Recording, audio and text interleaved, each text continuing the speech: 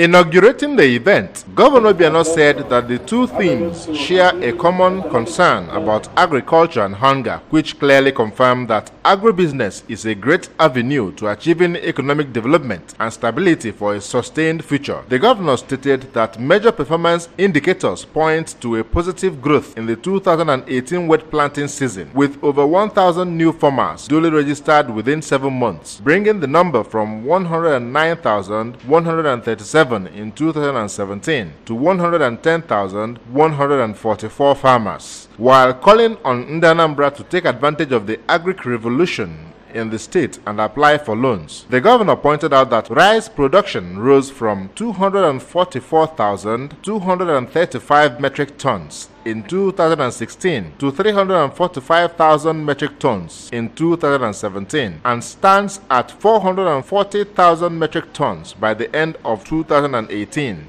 while cassava production shot up from 1,792,596 in 2016 to 1,881,589 metric tons in 2017, and maize production increased from 39,902 to 43,521 metric tons in the last planting season, which evidently increased land utilization due to influx of more people into the agriculture sector. When I look at the trends of our national economy, I feel justified in my decision to make agriculture the number one pillar of my blueprint.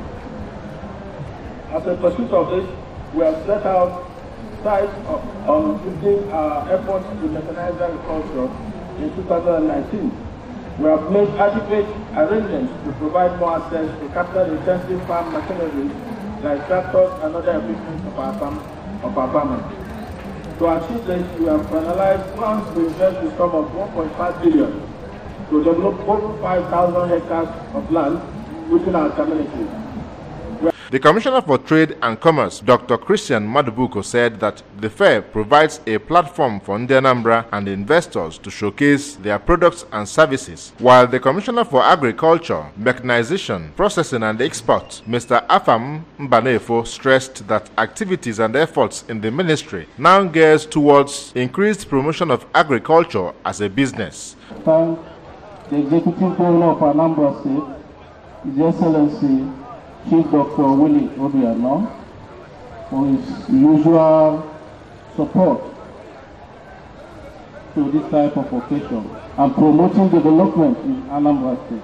Uh, the fact that you are a very good um, supporter of collaboration. And the reason why we, we've decided to collaborate as a ministry with uh, Ministry of Commerce and Industry and ANSIPA uh, is because we think agribusiness. And Excellency, for the fact that the things that we have done and what we have asked us and promised us and supported us to do is gearing towards developing agriculture as a business. The chairman, Anambra Chambers of Commerce, Industry, Mines and Agriculture, Mr. Humphrey Ngonade, represented by Mr. Uche Apakama, applauded the tax incentives of the governor but expressed worry about touts who, according to him, flout the directive and called for total enforcement. To thank Excellency for the tax incentives he provided in Anambra State, but at the same time we are worried about the touts who harass people who come in for commercial activity in Anambra State. We believe that the Justice has made a statement, but yet it's not being enforced fully. They will request the Excellency to get the security agency to ensure that all the towns who collect tolls along the roads and markets stop the activities. That's our prayer, Your Excellency. The chairman, Trade Fair Planning Committee, Sir Chris Okachuku said that the choice of Onisha as the venue for the event is strategic because it is the largest commercial city in the southeast and west Africa. From the Chuba Bazu Stadium, Onisha, Ejike Abana, ABS News.